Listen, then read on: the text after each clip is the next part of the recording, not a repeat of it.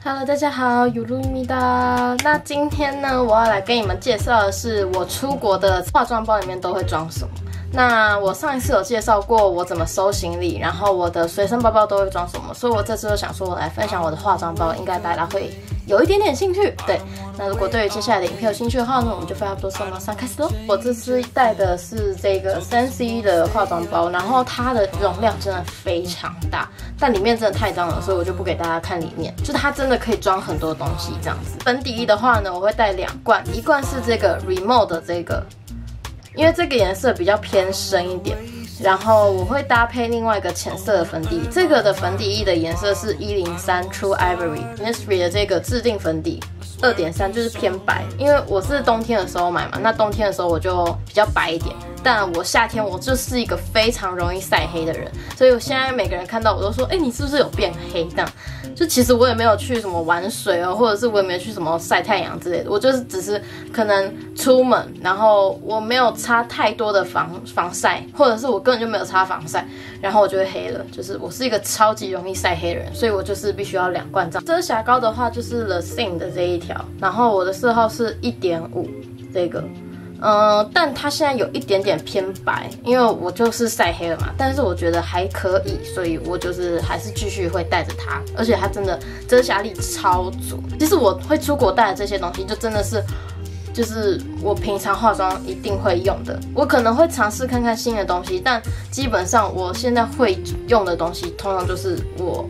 平时就有在用，而且是我一直回购它的东西。对，美妆蛋的话，我用的不是用 Beauty Blender，我用的是韩国大创的美妆蛋。韩国大创的美妆蛋，它就是这样子，四个一盒，然后一盒只要五千块哦，五千块你们自己去换算一下，大概一百多台币，平均一颗只要二十多块，不觉得很便宜吗？而且它真的很扎实，就是它很好用，它这样捏就是完完全全就是。就是很好用，我真的说不上来为什么，但我就真的觉得它很好用。我也有用过 Beauty Blender，但 Beauty Blender 我真的觉得就还好，而且 Beauty Blender 会让我觉得里面感觉松松的，可是这个里面就是很扎实，而且是很 Q 弹的那一种。我朋友可能隔一两个礼拜要去韩国，我可能会请他帮我再带一盒回来，因为它真的太好用，就是便宜又好用，所以我真的觉得就是没有不买的理由。你们有要去韩国的这一盒就是。它在台湾也超红的，就是你们真的可以去买。因为我的产品用的是 Etude House 的这个，其实我有两个很推来，另外一个是 Maybelline 的，呃，我不知道找不找得到图，我把图放在下面。这个 Maybelline 是我之前用过的，但我现在后来改用这个，是，呃，也没有为什么，就是我看到有人在推荐这个，所以我就想说用用看。但殊不知这一用也是超级好用。呃，然后我的染眉膏用的是 Kate 的这一条，就是 B R E 这一条真的是推到不能再推，它就是很顺手，然后。拿起来的量也不会太多，而且它之前改版之前它的是小条的，它大概只有这么高吧。可是后来它改版之后变大条，但它的价格好像也没有变太多，一管基本上就是用三四个月、四五个月起跳的那种。而且这个我已经用了大概四五条掉了吧，我真的就是超级喜欢它，它真的非常的好用。刷子类的话，我就大概带过一下下就好了，因为。没什么好介绍的。那个腮红的刷子的话呢，就是好像是在 Face Shop 买的吧，The Face Shop，但我真的忘记了，这因为这真的很久之前买的。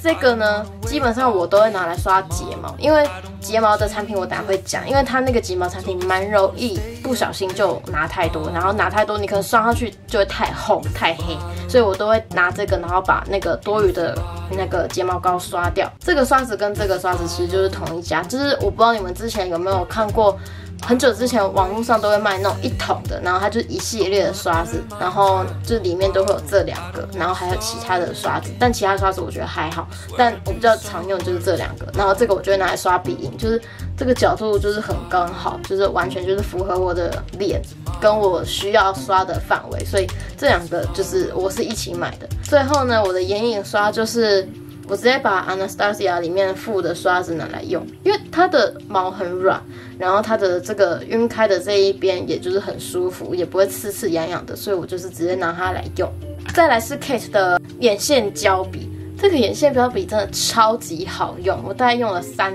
三四个有了吧。我可能之后因为 Kate 好像是日本的牌子，所以我应该也会再去囤个。四五支回来，就它真的超级好用。呃，但它的 BR 一我是更喜欢的，因为 BR 一是比较浅色，BR 二是比较深色。上面这个是 BR 二，然后下面这个是 BR 一，你可能就是从这个荧幕上面看不太出来，但我个人是觉得 BR 二会看起来比较柔和一点。必须要带的蜜粉就是这一条这一罐，这一罐其实我不管去哪里，我只要有在化妆，我基本上就是会去囤它，就它真的太好用。他如果哪一天跟我说他要停产，我可能会去囤个十罐到二十罐回来，因为我基本上一个半月到两个月就可以用完一罐了。因为我我不知道我有没有讲过，它除了可以就是帮脸，就是你可能比较容容易出油的地方上了之外，你还可以上在刘海或者是头顶，就你可能今天就是比如说像。我比较不喜欢洗头，但我今天又没有觉得我超油，但是还是有一点点看起来就是有一点点出油的话，我就会直接拍在头上。虽然有些人会觉得说，呃，你你干嘛那么脏，干嘛不直接洗头？但你知道有有时候我就是不想洗，我就是不想洗，对，所以我今天可能不然就是我即使有洗头，但我可能出门两三个小时、三四个小时之后呢，我的头发就开始变油了，那我就会就是用它，就是把它。就是拍在刘海上，我的头刘海就会看起来像就是刚洗完头那样子，就看起来很清爽。接下来睫毛顺序，我这个好像是 c c a d o 但是我真的买的有点太久，所以我真的忘记它是什么品牌了。睫毛膏的话呢，我用的是 Etude House 的这一个，就是它是黑色的。之前我看 Katie 的影片，然后它推到爆，所以我那时候去韩国的时候，我就把它买了两条回来。我个人是觉得真的还不错，它真的是蛮卷翘的。但就是在用之前，你要把就是它这边的一些多余的膏。就是刮掉，不然就是上上去，你可能就是会就是太多这样。修容的话，我之前也有在 Get Ready With Me 讲过，就是它真的是我用过最久，我大概用了它有有两年了吧。但修容的话，如果你们近看，就是它已经整个就是皲裂，就它其实基本上已经快要整块掉下来，是我硬把它塞回去，因为就是我还想不到有什么比较可以用的修容的牌子跟就是腮红的牌子，所以我基本上就是用这两个。所以是不是我我很喜欢啦？就是 Remo 现在台湾也买得到，所以你们如果想要去摸摸看的话呢，可以去那个屈臣氏吧，应该是在屈臣氏或康士美其中一家，你们可以自己去看看这样子。我的眼影盘就是它的这个色系真的是一年四季都很适用。我唯一真的完全没有碰过就是这个黑色跟这个米白色，因为我不知道可以拿来干嘛。但其他颜色我基本上都是有用过，我是真的觉得还蛮好用的，所以。就是这一盘在台湾我不知道卖多少，因为我是请我朋友从韩国买回来的，好像七八百块还八九百块，我是觉得还蛮划算的，所以就是这一盘我也会把它带出国这样子。然后我的护唇膏的话是 DHC，就是我这次去日本一定也有打算要囤货的这一支，为什么不对焦呢？以上呢就是我出国一定会带的一些彩妆品，就是这些东西基本上都在我的 Girly with Me 出现过。然后也真的都是我平时化妆我都一定会用在脸上的东西，所以就是推荐给你们。对，那如果喜欢这一部影片的话呢，不要忘记帮我按赞、订阅、分享，也开启订阅旁边的小铃铛，就可以第一时间收到我的影片通知。那我们就下个影片见喽，拜拜。